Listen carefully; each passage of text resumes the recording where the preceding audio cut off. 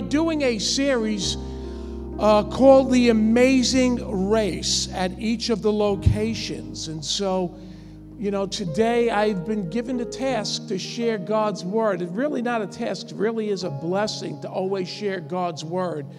And we're going to talk about relationships and partnerships. And on this amazing race, we will discover the synergy of relationships the power of partnerships, and the covenant agreement. You know, agreement is more than just a collection of conforming people, it's more than just a bunch of individuals putting all their talents and their abilities together. It's more than just a compilation of differences. It really is an amalgamation of hearts. Covenant is a union of lives all coming together to achieve what one person could never do alone. It's a fusion, a blending of callings, fueled by a common cause. And covenant people share the burdens. And yet they divide up the grief so no man, no woman would be unable to carry that load. I want you to know today, we may not look like much, but the person next to you and in front of you and in back of you, they're in agreement, covenant agreement with you if they love the Lord. Could somebody say amen? Today, we're going to realize your potential when you make the right relationships with the right people, make the right partnerships when you marry the right person and date the right individual. Relationships will make you or they will they will determine if you're going to be significant or just superficial. It's so important that we have the right partner on this amazing race called life. And we're all on a journey. Some of us may be different places in the journey, but we, if we're believers, we have a single destination. And I'll tell you, I wouldn't want to make heaven without you. I always tell people when they say, Pastor Marty, you know, you've been a blessing. Is there anything we can do for you? I always tell them, you can pray for my children and my grandchildren because I don't want you to make heaven without them. Every person here is important person next to you is important. You may not know their name, but I want you to know that we are all interchanged, our hearts all with a common thread, a common goal. And that is that we would enter into covenant with God and that we would share heaven together and the promise of eternal life. So, God is all about covenant. And he's all about agreement.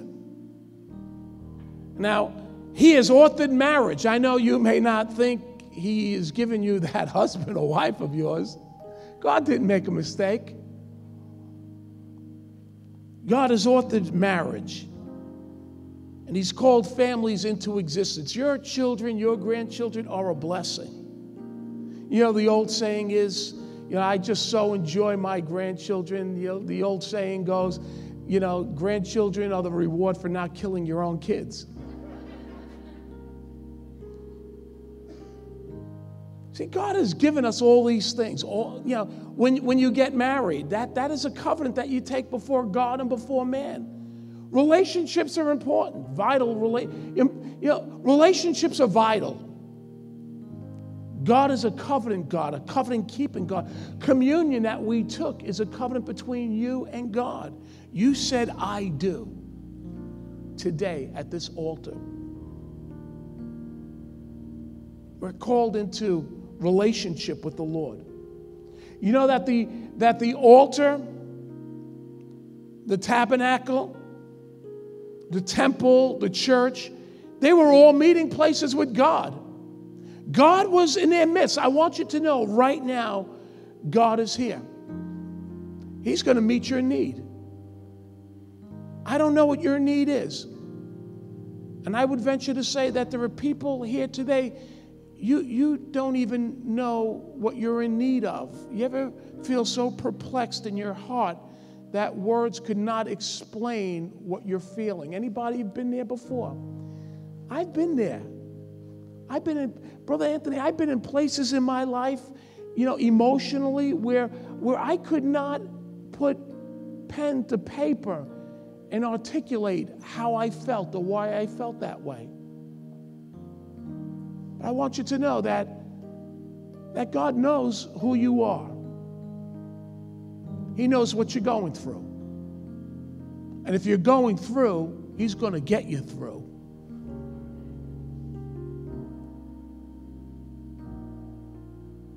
And so we today we're going to establish a, a, a, a covenant here. We're going to start new relationship here.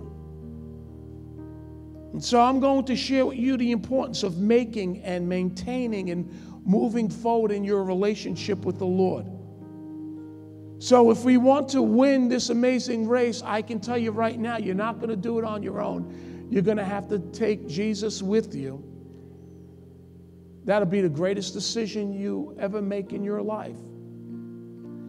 And, and let, let, let me say this, mom and dad, if, if you ever want to make, if you ever want the best for your children, how, how, many, how many moms and dads do we have here? Raise your hand real high.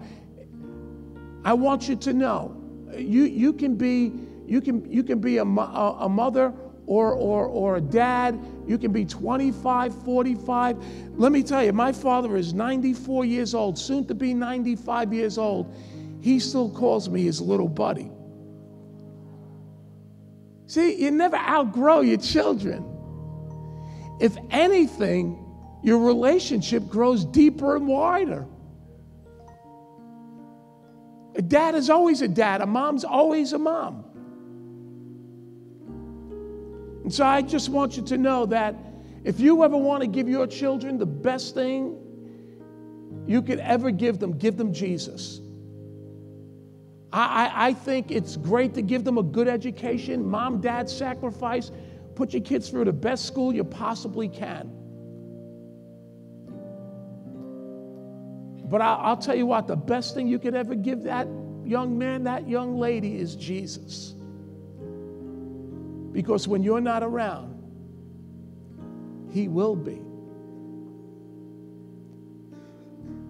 And covenant is just another word for covering and protection. So, can someone say amen? So now I have the, ta- the challenge and the task of reading you the most unusual of scriptures that go along with my opening. So, if you have your Bibles or maybe on the screens here, we're going to talk about very extreme relationships. You're going to see two very, very extreme relationships, and it's found in Luke chapter 11, verses 14 through 26. Now, could somebody say extreme? You're going to read about two very extreme relationships. Jesus was driving out a demon that was mute. So, first of all, we see that, that Jesus was taking authority over a man, over a, oh, really over a demon that had control over a man that could not speak. When that demon left the man, the man who had been mute suddenly spoke, and the crowd was amazed. But some of them said, by Beelzebub, which is the prince of demons. By Beelzebub, the prince of demons, he's driving out these demons. And others tried to test the Lord by asking him for another sign from heaven. Jesus knew their thoughts and said to them, Any kingdom divided against itself will be ruined, and a house divided against itself will fall. If Satan is divided against himself, how can the kingdom stand? I say this because you claim that I drove out the demons by Beelzebub, the prince of demons. Now, if I drive out demons by Beelzebub, by whom do you do you followers drive them out? So then they will be your judges. But if I drive out demons by the finger of God, then the kingdom of God has come unto you. When the strong man, and that strong man here represents the enemy, when the strong man, fully armed, guards his own house, his own possessions are safe. But when someone's stronger, that's the, the, the, that, that evil spirit. But when the stronger attacks and overpowers him, he takes away his armor in which the man trusted and divides up his plunder. Whoever is not with me is against me, and whoever does not gather with me scatters. When an impure spirit comes out of a person, it goes through the arid or dry places seeking rest and does not find it. Then it says, I will return to the house where I left. And when it arrives, it finds the house swept clean and put in order. Then it goes and it takes seven other spirits more wicked than itself, and they go in and live there. And the final condition of that person is worse than the first. We're going to talk about extreme, uh, extreme relationships today. So I'm here to tell you that no good can ever come out of a controlling, authoritative influence of sin. If there are some here today or someone that you know that thinks that they can live in sin and that good is going to come out of it, it's not going to come. No good will come out of sin. No good will ever come out of fornication and adultery. No good will come out of drunkenness or drug abuse. No good will come out of any sin that we commit. Rest assured that sin is for a season. And in the end, you will pay a heavy consequence for that relationship. See, sinning is the repeated act of disobedience. When people say, well, what is sin? Well, we're all born with a sin nature. Everyone here was born with the Adamic or the nature of Adam. But because we are born again, we are born not no longer of Adam, but we are born of Jesus. So, so uh, we have a new nature. Our sin nature has been passed away. Behold, God gives us a new nature. That's why today, if you if you do not know Jesus, you need to know him if you wish to be born again. That's what born again really means.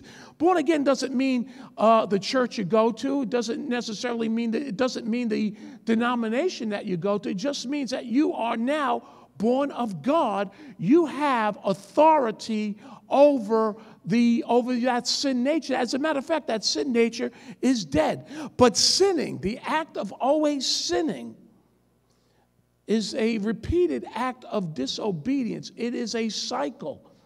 Many of these cycles are generational. Generational means that there is a lineage of behavior.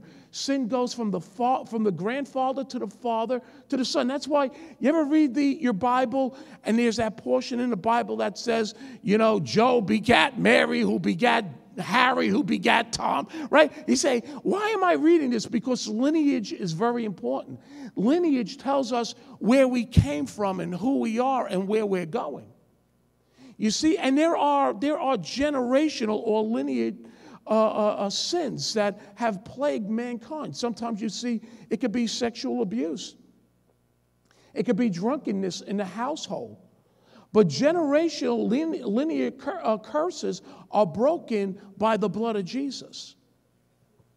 The blood at Calvary was a blood transfusion.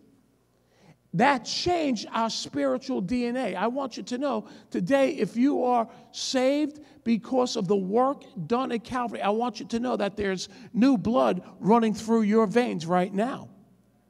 I want you to know that housed in your heart is the presence of a holy God. I want you to know that if you know, you see, your denomination is not going to save you. Coming to church is not going to save you, but who you are in Jesus will save you. So if you're born again, I want you to know that you have a, a, a new father, a new heart. There is a new blood that flows through your veins.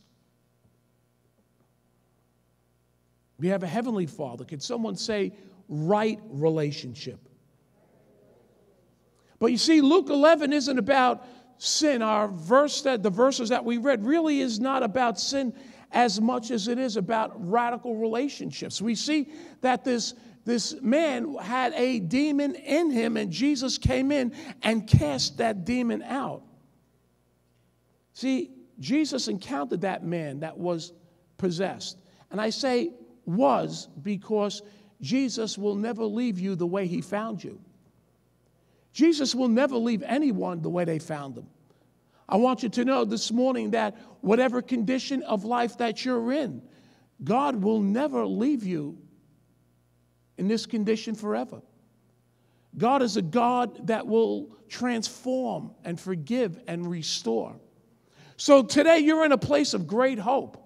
You're in a place where God is able to do exceeding abundantly above all you can think or even ask.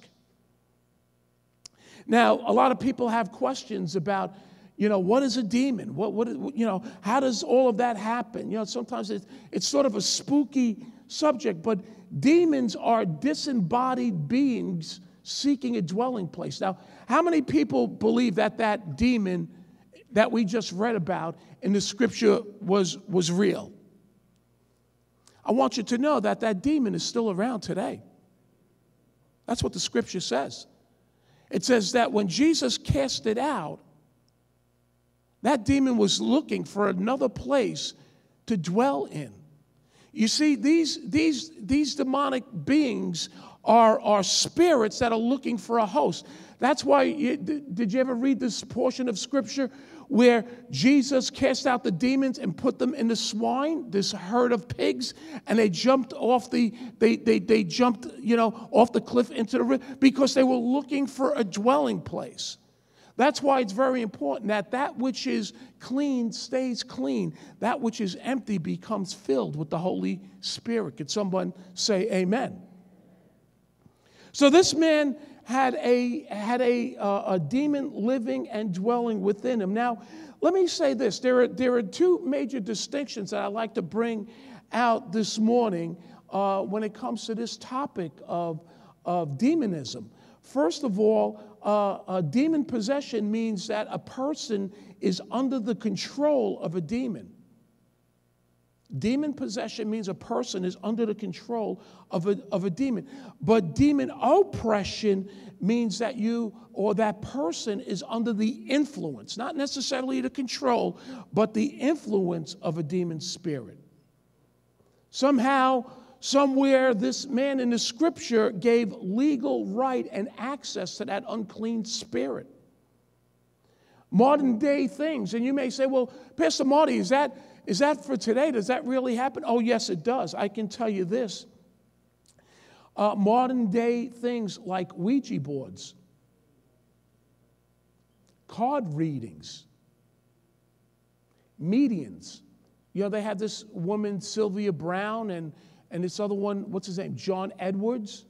These, these, you know, when, when, when we play with these things, we're playing with, in darkness. Do you know that uh, most people that have been demon possessed uh, uh, was, you know, was possessed through a Ouija board or through going to a psychic. Because there is something, that's why when, when people go to a psychic, they say, wow, I can't believe like that person knew me. Now I know I'm, you know, I got to tell you, I got off 90% of my notes, but I just want to share this because we never really hear this stuff. I'm normally the happy preacher. So, but I want to get a little heavy today because I think it's important. Because I think I've seen more, more, more psychics open up on Staten Island than, than ever before. And sometimes people say, wow, I can't believe I went there and this person like knew my Aunt Tilly from, you know, Chattanooga. And, and there's, and let me tell you, there are the frauds and then there's the legit. Let me tell you. Now, did you ever read in the Bible of something called a familiar spirit? what a, what a familiar spirit is, is one of these demons. And a familiar spirit has been linked to, uh, to a generation, father to son. Remember when we were talking about, you know, uh, generational curses? There, there are demons that are assigned to territories and locations. Do You know that that uh, you know practice homosexuality has been going on literally for hundreds and uh, hundreds and hundreds of years in Greenwich Village. It's no surprise that that just happened. That's always been there. There is an assigned spirit over that. You look at certain communities that have been impoverished. There is a spirit of poverty over certain communities. It, it was one time a, uh, you know, a Jewish ghetto, then it became a, you know, an Irish ghetto, then it became an Italian ghetto, then it became an African American ghetto, then it became a, you know, a, uh, a Hispanic ghetto. It's, there is a assigned spirits over these things. And so let me get back to the, the fortune teller and, and the familiar spirit. We read about these in the Bible. You can just go through the, uh, you could read the account with, with Paul and so many others.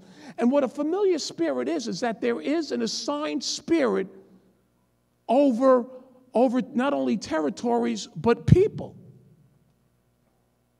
That's why when we say generational curses and we talk about things like incest, or sexual sin. You'll see that sometimes, you know, there's a history of adultery going through a family. Why? Because they're not demon possessed, but they are demon oppressed. There is something assigned to them. It's only the blood of Jesus that breaks that that that uh, uh, that you know that stronghold that frees a person from that sin. So, what is a familiar spirit, Pastor Marty? Get back on subject, which I'm really off the subject right now.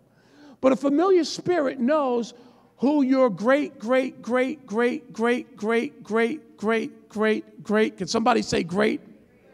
Great grandfather was because he was assigned to him. And so when you go to the psychic, or when uh, hopefully no one here, but when someone goes to the psychic and they say, Wow, I can't believe that person knew my Aunt Tilly. Of course, that person knew your Aunt Tilly, and they knew your Uncle Bob and your grandfather Joe and your great grandfather Harry, because they, sure, they knew because they've been tracking them and trailing them. But I want you to know there's no reason to fear today in the house because when you are in blood covenant with Jesus, he has the power to take, a, he, he will take authority over that strong man.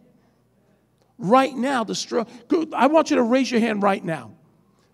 Father, in Jesus' name, I pray, Father, that you would break every stronghold over your people, Lord.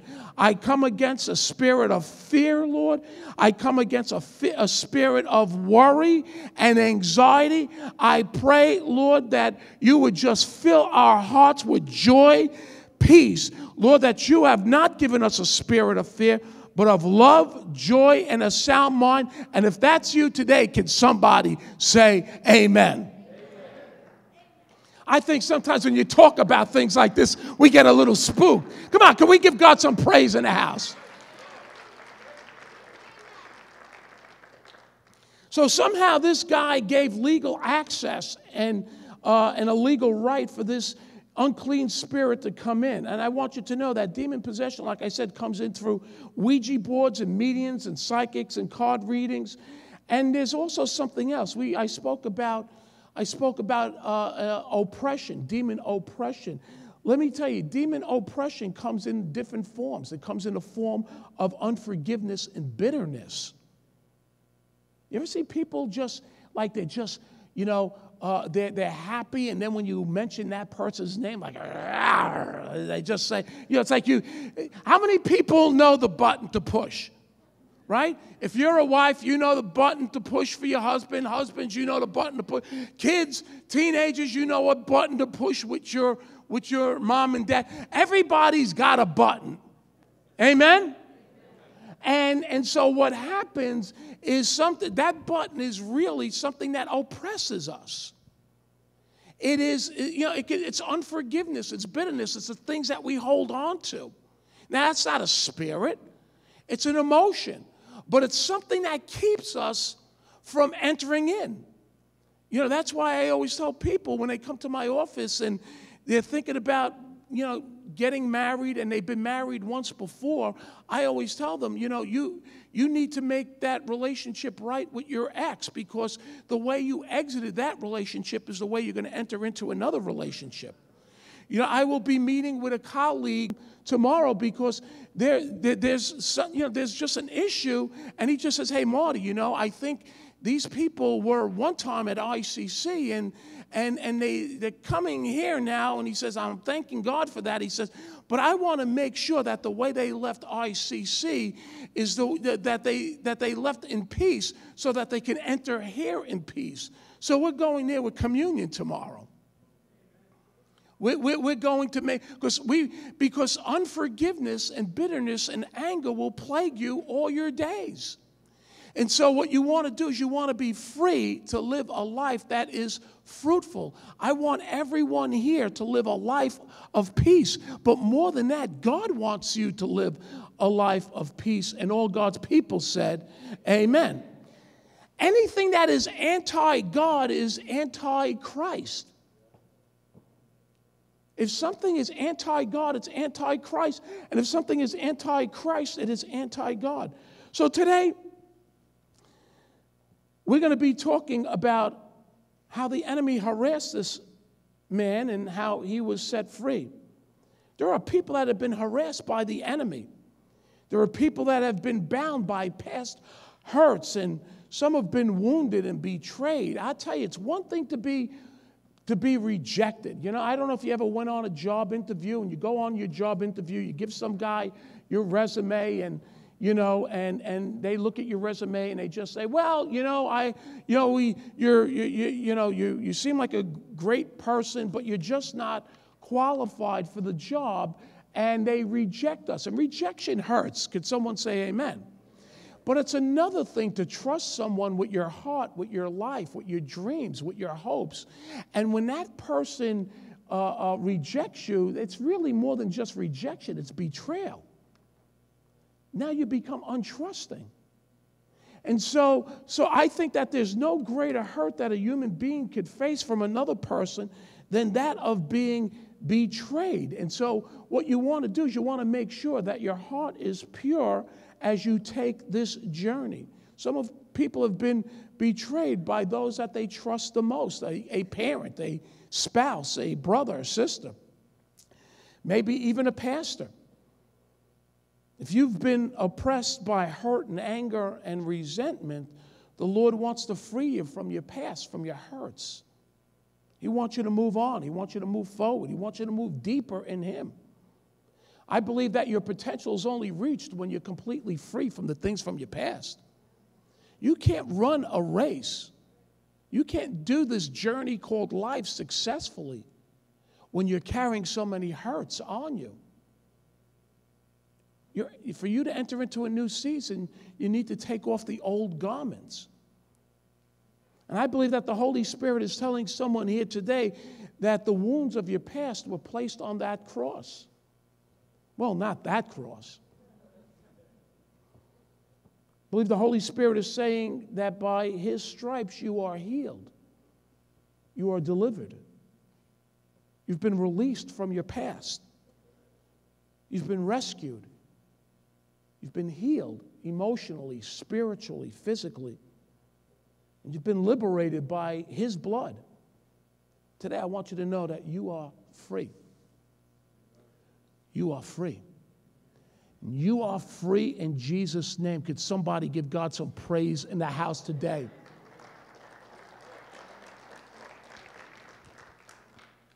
You know, John 10 10 tells us that the enemy comes to steal, to kill, and destroy. That's his mission. That's the, that's the mission of the enemy. See, he, that's, that's what he wants to do. Satan wants to hinder you. He wants to defeat you. He wants to distract you. He doesn't want, he doesn't want to kill you. That may surprise you. See, the enemy does not want to kill a Christian because he knows you'll go to heaven. So he's just going to plague you all the days of your life. He just wants to steal your dreams and he wants to uh, take your joy away. See, the devil wants to kill your faith. He wants to kill your hope. He wants to kill your love for God. He wants to destroy your future and your salvation and your destination. He wants to distract you and he wants to defeat this church. Satan wants to render you powerless and ineffective. But see, Jesus said this He says, But I have come that they may have life and that they may have life more abundantly. See, Jesus came to reverse the curse. Turn to your neighbor and say, Neighbor, I have a life giving partner, and it's Jesus. See, John 8 32 tells us that when you know the truth, the truth shall set you free. If Jesus has come into your life, I want you to know you're no longer a prisoner. You're not on probation anymore. You've been set free. I'm here to tell you that Jesus has defeated Satan totally and completely. He has no power over your life. John 8:36 tells us, and if the Son sets you free, you are. Turn to the person next to you and say, I am free in Jesus' name.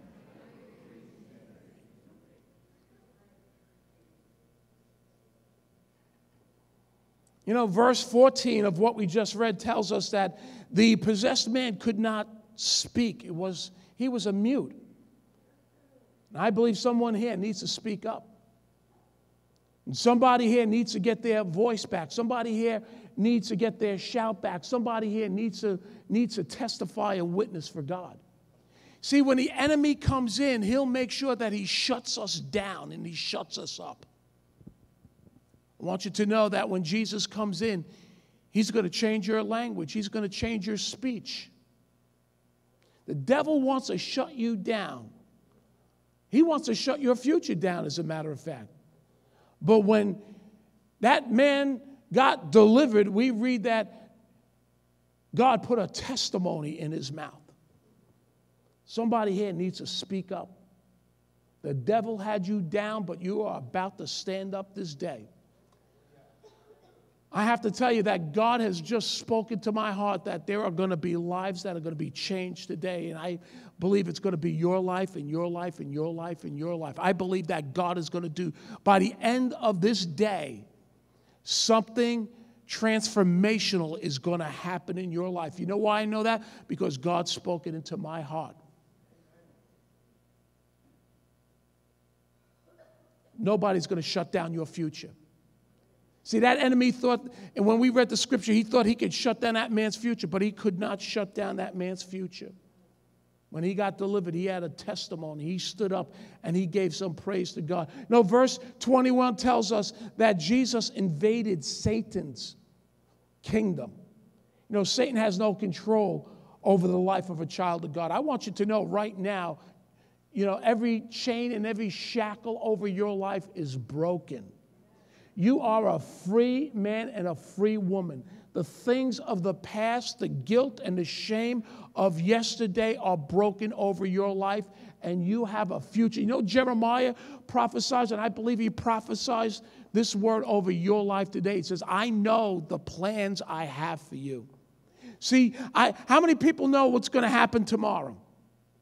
You don't know what's going to happen tomorrow. But I want you to know this I want you to know that God has a plan for you. He knows your tomorrow. He knows your he knows where you were yesterday. He knows where you're at right now. He God God knows your he has a plan for you. He has a blueprint of your life written out. He says, "And I have given you a hope and a future." You think your life, you know, sometimes I look at myself the other day, yesterday, as a matter of fact, me and my son were talking, and and he had some pretty profound things to say to me, to tell you the truth. And I got very quiet because I'm saying, okay, I'm convicted, I'm guilty, you know? And, and he was just sharing his heart with me, and he, he had some very important things to say to me. And I'm his dad, but he, I got to tell you, he was sharing some thoughts Uh, and, and it was very, uh, it was very thought provoking. But I want you to know that, you know, and he says, You know, Dad, I know you're getting old. You know, I'm 57 years old, but I want you to know it doesn't matter how old you may be, your future is brighter today with Jesus than it was yesterday without him.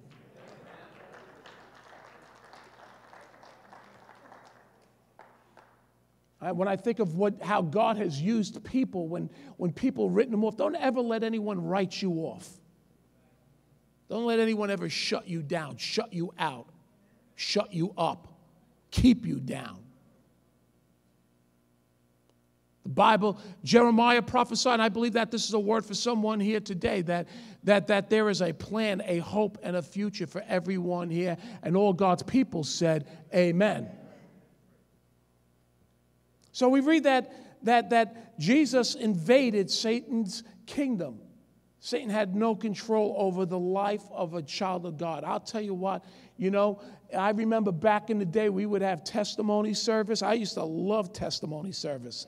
Because when we would have testimony service, we'd have some people stand up and they, they, they, they would just stand up and, and just anybody have something to say. And that's what happened in, in that scripture that we read. Does anybody have something to say? And then somebody, and that, that's what the, the, the mute, that man was mute.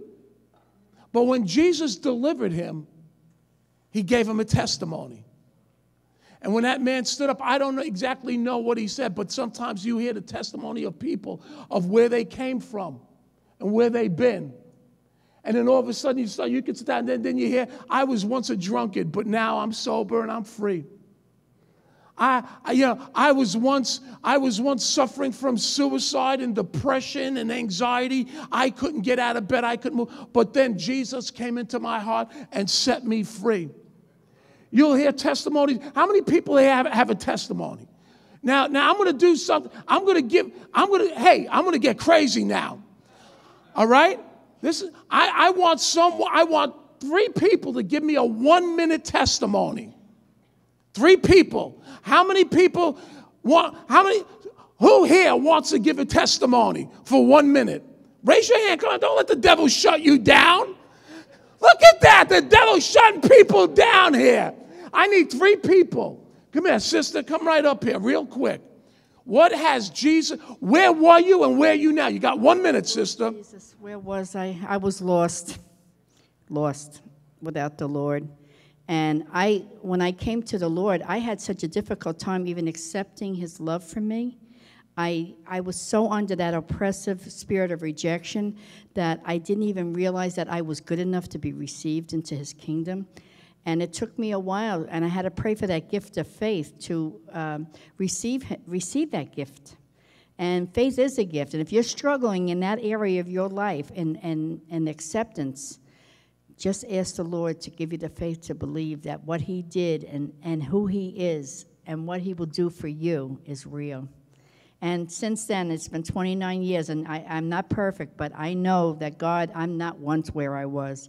I was a cigarette smoker with short shorts up to here and, and, a, and into drugs and into everything. And what God has done in my life and how He's transformed me is more than I could ever begin to be grateful for. See, the devil tried to shut her down. Drugs, smoking, drinking. Sister, did someone here, did you have your hand up? Some sister? Yes? All right, now you got one minute. Okay, um, I had a really bad drug problem, and I got a case, and I got mandated to uh, rehab, and I completed it, and I got saved there. I used to go to church every Sunday. Used to write up the, you know, like the little trip form, so they didn't have a problem with us going there. Um, and then I went home, transferred, and I had a relapse and I wasn't going to church with my mom. She would like try to read the Bible to me. I'd be like, "Get out, get out of my room, leave me alone." Like the enemy had such a strong hold on me, and like I just let it go, and I was like, I rebuted it, and I like my praying with my mom, and I got saved again, and I started going to church, and I've been sober for almost three years. I had a little mix up, but. I, God delivers. He heals. I want you to know that wherever you're at, brother, sister, wherever you're at, I don't know the future for this child, but I know one thing. You dedicate that child to God, that child will be a blessing in your old age. God is a healing God. I've seen people bound by anger and set free. I've seen people that, that were just so broken in spirit and God healed them. I've seen doctors give up. I don't know. I've seen doctors give up on people. I've, I've, I've seen people that got out of a, where, where we would see a, a, total wreck of a car, and the police officers would say, I don't know how they got out of that car, but they got out and they got out alive. God's got a future. Everyone looked at that man in the scripture and just says he's just demon possessed. He's a crazy man. Keep away from him. But God had a plan for him. I don't know what that man turned out to be, but he wasn't what he was before Jesus came in. I want you to know that if we were to continue and we had our testimony service here, man, the testimonies would knock your socks off. Because you know what happened? Somebody, somebody established a covenant with God. Someone got on their knees and said, God, would you help me?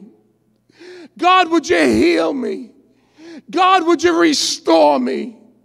God, would you change my heart? God, would you fix my mind? God, would you heal my body? And God is a God that can do anything on your behalf. I just want you to know, saints, that we need, if we're to run this race, we need to run this, we need to take this journey with Jesus. Man, I've seen people, their life was in a prison, an emotional prison, but God set them free. If we had a testimony service here, we would hear people say that, oh, I was a complainer and I was a worrywart and I was a grumbler and I was a fearmonger. But then I established covenant with God and, and God put a song in my mouth. He put praise in my heart. God has given someone here a new beginning. I assure you this in the next 15 minutes, when I finish this message, someone's life is going to be radically changed. Man, he can change your speech. He'd give you a new dance, he'd give you a new walk, he'd give you a new spirit. This is radical relationship. This is not church as usual. This is radical relationship. Radical relationship cannot be contained, it cannot be limited or restricted. You know, verse 21 and 22 tells us that, that the devil was called the strong man. He may be strong, but I want you to know that God is almighty. And Jesus defeated Satan on the cross, and he, and he took the fight to him. He invaded his territory and he overpowered him and defeated him. Verse 22 tells us that Jesus has claim over Satan's kingdom. Satan's weapons and armor, he has been dismantled and disarmed. No weapon formed against you shall prosper in Jesus' name. There's no weapon, no demon, there's no plan that can defeat the child of God. Greater is he that is within me than he that is within the world. And I have a word for someone today. If you're a believer, but you feel empty inside, I want you to know that there's something more than just a Sunday sermon. Paul asked the question and he said, have you received the Holy Spirit since you believed? And today I'm praying that someone's heart space would be filled with the Holy Spirit. I'm believing that someone's mind will contain the fullness of God. And I'm praying that someone's spirit will overflow with the presence of His holiness. Jesus is saying to us that we were created by Him and for Him. And the purpose of sal- the purpose of the Christian is to be the church. You are the church. You are the temple. You are the container. You are the vessel of the Holy Spirit. And God wants to establish a tabernacle with you. You know, there was a testimony of a, from an, uh, an Assemblies of God missionary. Listen what he wrote. He wrote that a spiritualist, that's a person involved in the occult, wanted a certain house, wanted to purchase a house.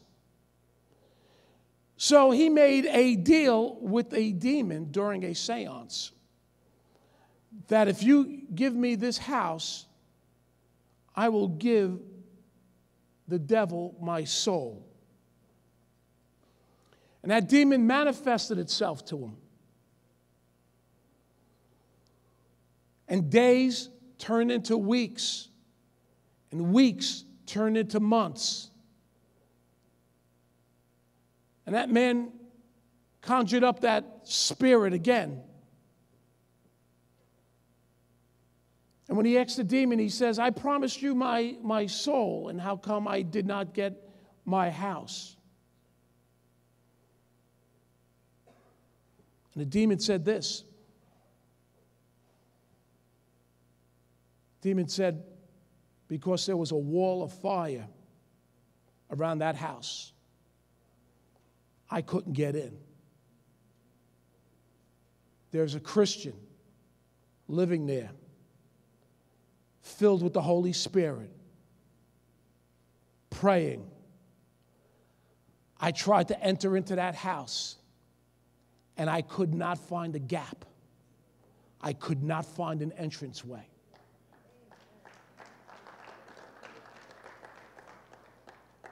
This morning, I pray a wall of fire around you, around your children. I'm praying for hope, praying for deliverance.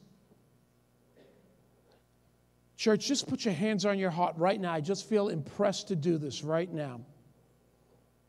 And I'd like you to repeat this I am sealed with the Holy Spirit, I am filled with the power of God. I have been empowered by the Son of God. I am redeemed. I am sanctified. I am sold out. I am consecrated. I am separated. I am blood bought. I am blood washed. I am saved. And I pray no gaps. And I pray no gaps. And I pray no gaps. And I pray no gaps in Jesus' name. And all God's people said, Amen. Give God some praise.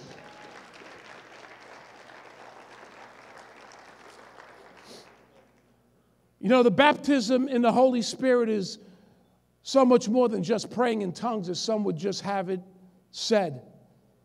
It's giving every room, every closet, it's giving your, your the, the, the secret places of your life to the presence of God. It's putting His firewall around your life. It's protecting you and your family from the enemy. Would you just turn around and tell two people, no more gaps? No more gaps. No, tell them no more gaps. So, how do you resist the devil? The Bible says, resist the devil and he should flee. So, how do we resist the devil? Not by trying harder, not by more rules or religion, but by being in His presence, by staying filled with His Spirit.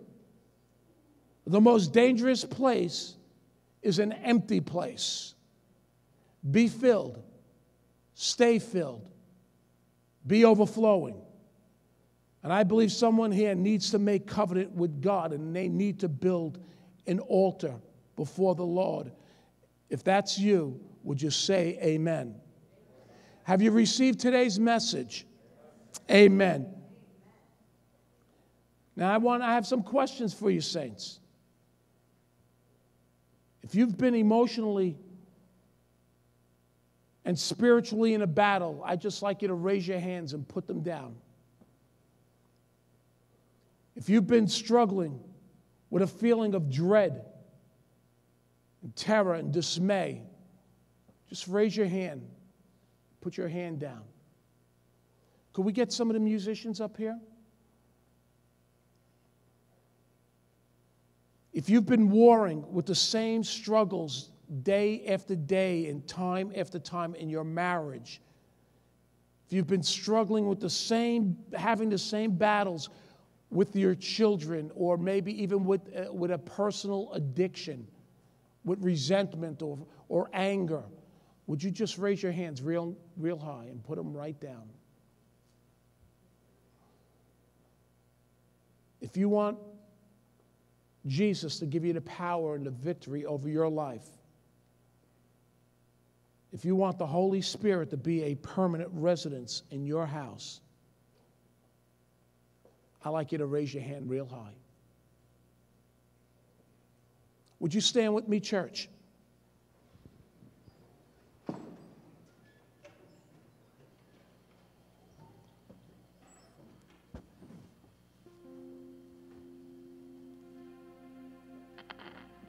You raised your hand, I'd like you to come forward right now. I don't want you to be ashamed. You know what we're going to do?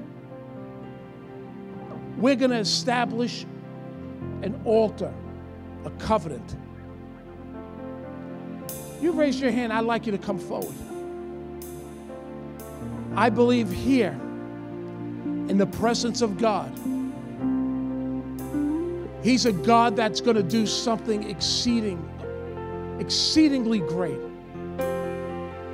I believe that there's going to be healing and deliverance, freedom. We're going to establish an altar of power. You know, in the Old Testament, it says that the prophet went before the prophets of Baal. And God rained down fire and destroyed the works of the enemy.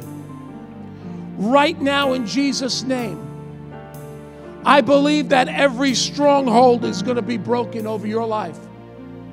In Jesus' name, I believe that anger and depression, fear, hatred, rage is going to be broken over your life. Feelings of guilt and shame are going to be broken. The sins of the past are going to be broken. God is going to establish a new covenant with you. He's going to put away the old covenant. Today, we're going to build something for God. And a tabernacle, a place, a meeting place with the Lord. We're going to establish a tabernacle of praise.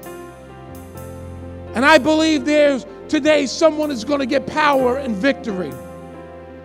If that's you and you're still out there, I want you to know today we're going to pray a prayer of power and victory. If you need power and victory in your life, I want you to come forward right now. I believe that God will respond to your faith.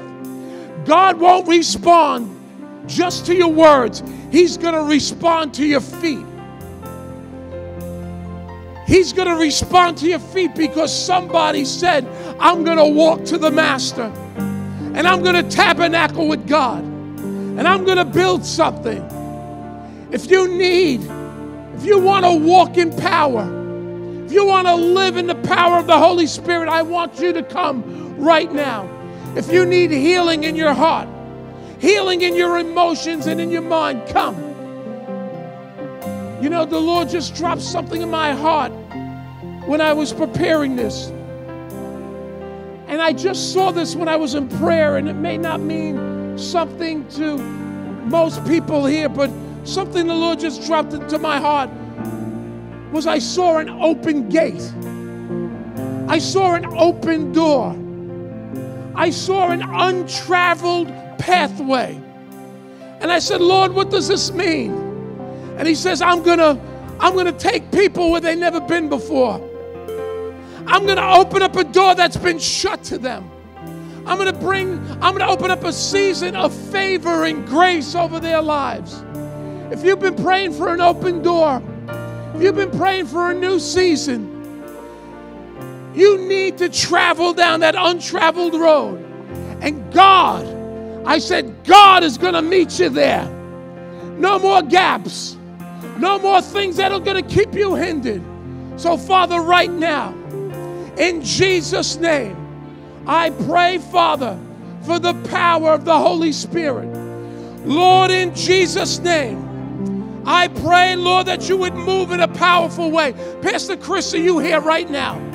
If Pastor Chris is here, just come forward. Let's just start laying hands on people in Jesus' name. If we have some vocals right now, Sister Marisol, Lori, someone come up here. Right now, in Jesus' name, I pray the power of the Holy Spirit upon you. Every shackle, every chain broken over your life. In Jesus' name, new pathways, new beginnings, a new hope, a new life in Jesus' name. Father, I pray, Lord, that you would restore the hearts of your people. Lord, that you would renew our strength, Lord. Lord, we give you praise, honor, and glory in this place right now, Lord. Every prison door open, Lord, every heart that has been in prison shall be free in Jesus' name. By the blood of the Lamb, I come against every generational curse, Lord. I come against every mocking spirit, Lord. Everything that has shamed us and made us feel guilty, Lord. In Jesus' name, touch our minds, heal our hearts, Father, as we give you praise, honor, and glory. We're going to sing a song, church, and then we're going to pray a closing prayer. And I, me and Pastor Chris are just going to lay hands on you and believe God for a miracle right now in Jesus' name.